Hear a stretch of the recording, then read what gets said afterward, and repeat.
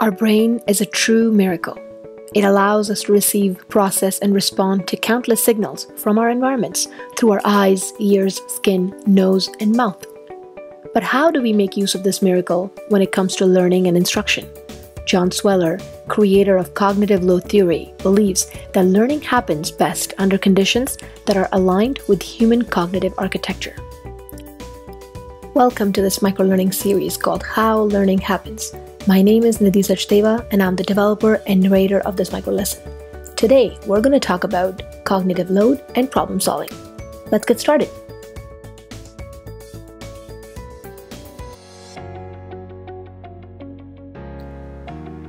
According to Kirschner and Hendrick, problem solving is possibly the hottest topic in education at the moment.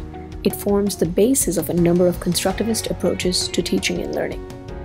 Also, it is one of the most highly regarded components of what has come to be known as 21st century skills. But how do we solve problems and continue to learn? John Sweller's cognitive load theory, developed in the late 80s, might help us answer that.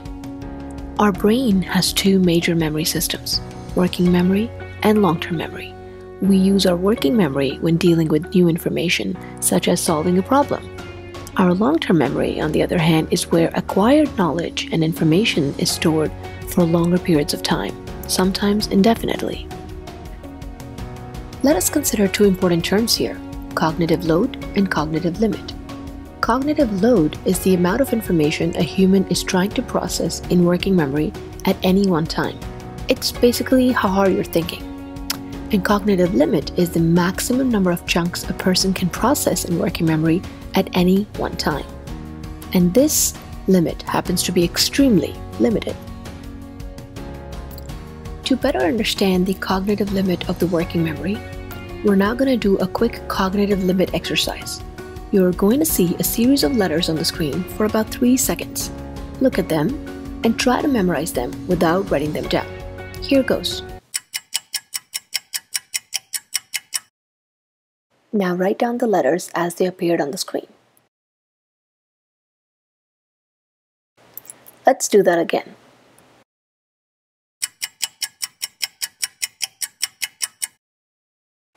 Write down this new sequence. Which sequence was easier to memorize? I'm guessing number two.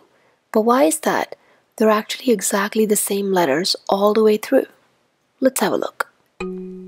The second sequence is easier to memorize because it is arranged in chunks that make sense to our working memory, and hence, instead of memorizing 12 letters presented in the first sequence, our working memory is having to process only about 4 chunks or elements.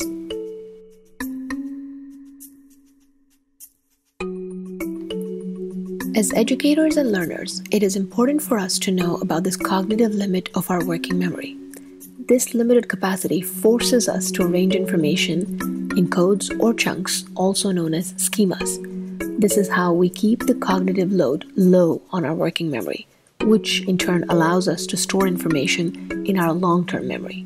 If we didn't do that, no long term learning could actually take place.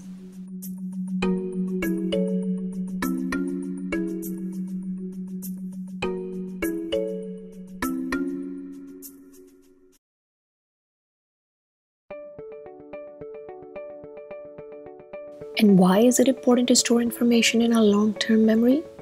Because that is how we build our domain specific knowledge, which in turn helps us solve problems effectively. That is the key difference between how experts solve a problem and how novices solve a problem.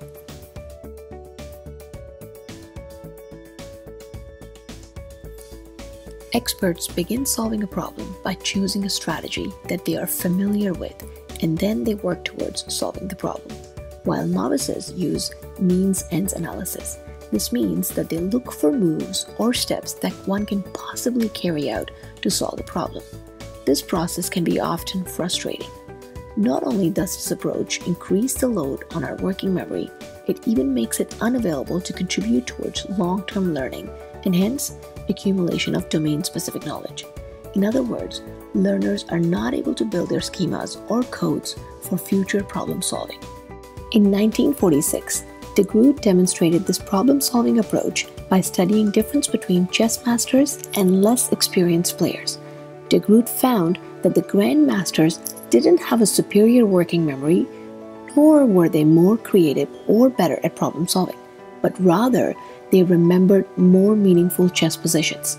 They were able to tap into their domain specific problem knowledge stored in their long term memory, which less experienced players did not possess.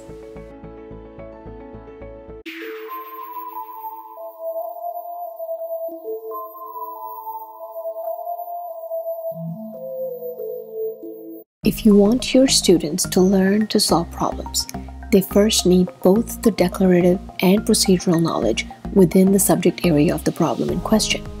This is also true if you want to teach them how to communicate, how to write, or conduct meaningful discussions. For example, you can't communicate about something, write about something, discuss or argue about something without first knowing about that something and then also knowing the rules that is, the procedures for doing that.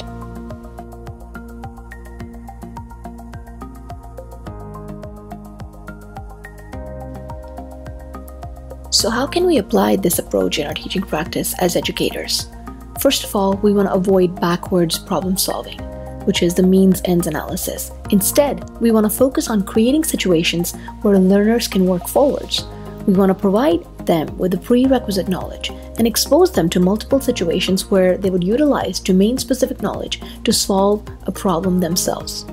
The idea is to decrease the cognitive load on the learners. Remember, too much cognitive load hinders learning. We want to do just the opposite.